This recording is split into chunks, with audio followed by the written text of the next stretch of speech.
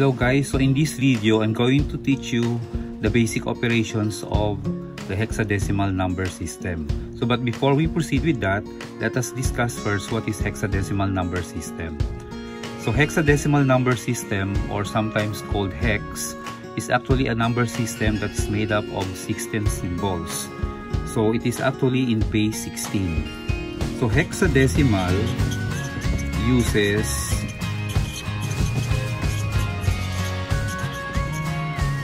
the digits of the decimal number system 0, 1, 2, 3, 4, 5, 6, 7, 8, and 9 and 6 uh, extra symbols. The uh, 6 extra symbols are A, B, C, D, E, and F which represents the numbers 10, 11, 12, 13, 14, and 15. So you see, in hexadecimal number system, it uses the number 0 to 9.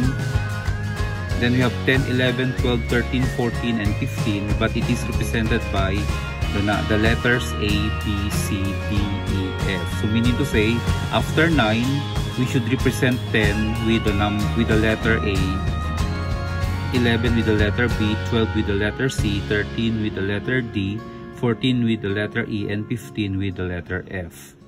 Let us now proceed with the first uh, operation in hexadecimal which is the hexadecimal addition. Say you are given the number B2 plus A. So this is in base 16. Okay. So how do we add these uh, hexadecimal numbers? We said earlier that the hexadecimal number comprises of the 10 symbols of the decimal number system 0 to 9 and the letters A, B, C, D, E, and F. So how do we add this uh, hexadecimal number? So given B2 plus A. So we start operating again at on the last digits of the given numbers. So we have 2 plus A. So we know that A is 10 and 2 is 2. So adding a plus 2 that is 10 plus 2 which is 12. So 12 is still a valid hexadecimal number because it is still on the bracket between 0 to 15. But 12 is represented by the letter C. So we don't put 12 here but rather we put the letter C. And then we bring down B. So the answer is Okay, let's have another example of hexadecimal addition. Say for example, you are given the numbers in hexa 3C7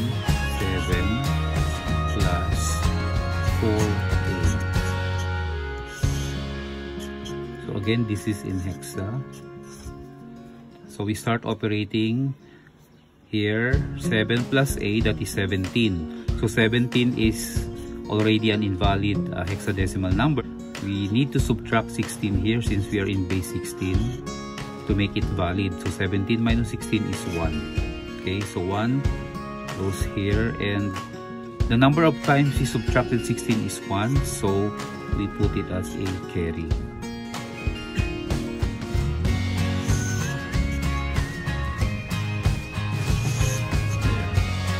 Okay, then we proceed we have 1 plus C which is 1 plus 12 is 13 plus 4 is again 17 so again 17 is invalid so we subtract 16 again that is 1 so we put here 1 and then we carry 1 since we only subtracted 16 once and then we add 1 plus 3 we have 4 so the answer is 4 1 1 let's have another example.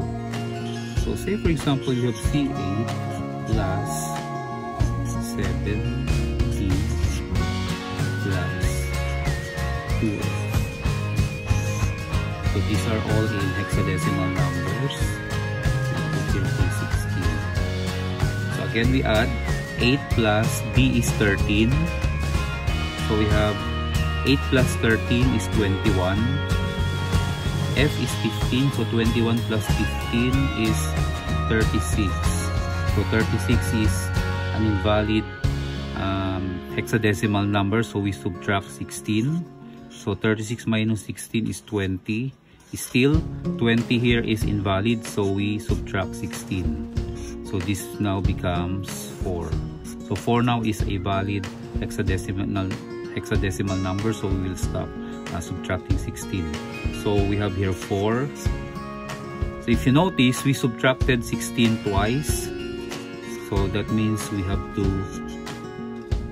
carry 2 okay